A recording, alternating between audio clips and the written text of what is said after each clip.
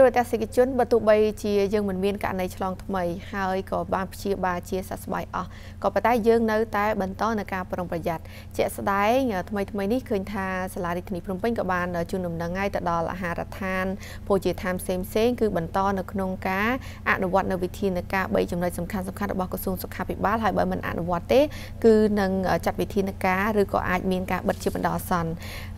និយាយដាច់ដライទៅមើលពីផ្សារវិញម្ដងក៏ជាទីកន្លែងប្រជុំជនដែរក៏មានការជូនដំណឹងពីរដ្ឋបាលសាលារាជធានីភ្នំពេញក៏ដូចជាណែនាំទៅដល់តាមផ្សារនានានៅក្នុងរាជធានីភ្នំពេញហ្នឹង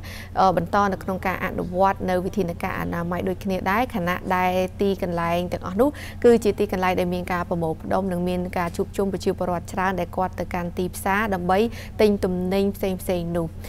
យើងទៅមើលនៅតាមបណ្ដាផ្សារនានានៅថ្ងៃនេះគឺក្រុមការងាររបស់យើងបានទៅកាន់ផ្សារចំនួន2គឺផ្សារបឹងកេងកងនិងផ្សារច្បារអំពៅហើយសម្រាប់ផ្សារបឹងកេងកងយើងឃើញថាលោកឯកនិមលដែលជាប្រធានផ្សារនេះបានថ្លែងប្រាប់ BTV ថាបន្ទាប់ពីកម្ពុជាមិនមានផ្ទុះនៅករណីថ្មីនៃមេរោគ COVID-19 នៅផ្សារបឹងកេងកងគឺបានចាប់ផ្ដើមមានកំណើនប្រជាពលរដ្ឋអញ្ជើញមកផ្សារជាបណ្ដាបណ្ដាហើយហើយក្នុងនោះក៏មានពលរដ្ឋភ័យច្រើនគឺបានពង្រឹងនៅវិធានការអនាម័យការពារខ្លួនបានល្អប្រសើរពីមេរោគ COVID-19 ហើយក៏មានពលរដ្ឋខ្លះទៀតភ្លេចការពារខ្លួន ដែលបញ្ហានេះអាជ្ញាធរផ្សារក៏បានណែនាំឲ្យគាត់ធ្វើការទិញម៉ាស់ពាក់និងត្រូវលាងដៃជាមួយនឹងទឹកអាល់កុលនិងសាប៊ូផងដែរ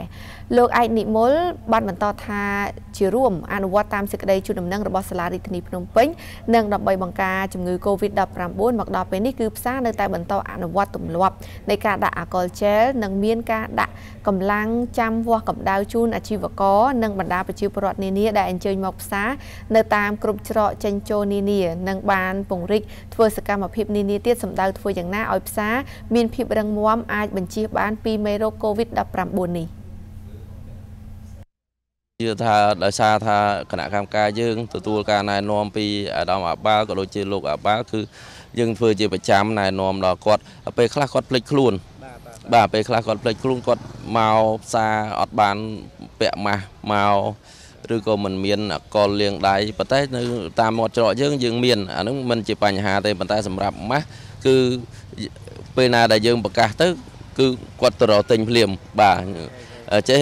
បានន័យថាគាត់រៀងចង់ចង់ចោលទម្លាប់ការភ័យខ្លាចរបស់គាត់ប៉ុន្តែដល់ពេលចូលមកដល់ផ្សារជួបជាមួយនឹងកម្លាំងយើងដែលយើងធ្វើការផ្សព្វផ្សាយទៅគឺគាត់រុះរះរម៉ាស់យកមកពាក់អញ្ចឹងហើយបងប្អូនមួយចំនួនទៀតបើនិយាយទៅ 60%ដែលគាត់រក្សាបាននៅការអនាម័យរបស់គាត់នឹង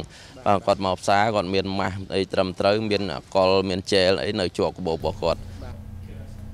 មិនខុសគ្នានោះទេបើតាមលោកគួចចំណានប្រធានផ្សារច្បារអំពៅបានថ្លែងថាបច្ចុប្បន្នអាជីវករឬពលរដ្ឋណាដែល ដែលអាជ្ញាធរផ្សារវាស់កម្ដៅរកឃើញកម្ដៅឡើងខុសធម្មតាអាជ្ញាធរនឹងណែនាំឲ្យគាត់អាចឈប់សម្រាកលក់ដូរសិនហើយត្រូវទៅស្វែងរកការព្យាបាលឲ្យបានត្រឹមត្រូវពិសេសគឺណែនាំឲ្យគាត់ត្រូវរក្សាគម្លាតសង្គមពាក់ម៉ាស់និងត្រូវមានទឹកអាល់កុលជែលលាងដៃឲ្យបានញឹកញាប់ក្រោយពេលដែលចាប់កាន់អ្វីមួយនោះសម្រាប់ផ្សារច្បារអំពៅគឺយើងអនុវត្តរាល់ថ្ងៃ យើងអត់ដែលធ្វើប្រហែលទេព្រឹកឡើងគឺកម្លាំងសំខាន់គឺបុគ្គលិកទាំងអស់គឺពលឹមឡើងគឺពេលដែលគាត់មុននឹងចេញទៅធ្វើការងារគឺយើងប្រមូលផ្ដុំដើម្បីយើងវាស់កម្ដៅជូនគាត់ឲ្យដឹងថាបើសិនជាក្នុងកម្រិតមួយហៅថាគាត់មានបញ្ហាសង្ស័យយើងឲ្យគាត់ត្រឡប់ទៅផ្ទះឬឲ្យគាត់ទៅមន្ទីរពេទ្យដើម្បីពិនិត្យសុខភាព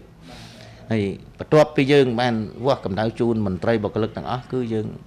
ឲ្យ មន្ត្រីបុគ្គលិករបស់យើងហ្នឹងគឺកាន់ប្រដាប់វាស់កម្ដៅចុះវាស់ជូនបងប្អូននៅគ្រប់គោលដៅ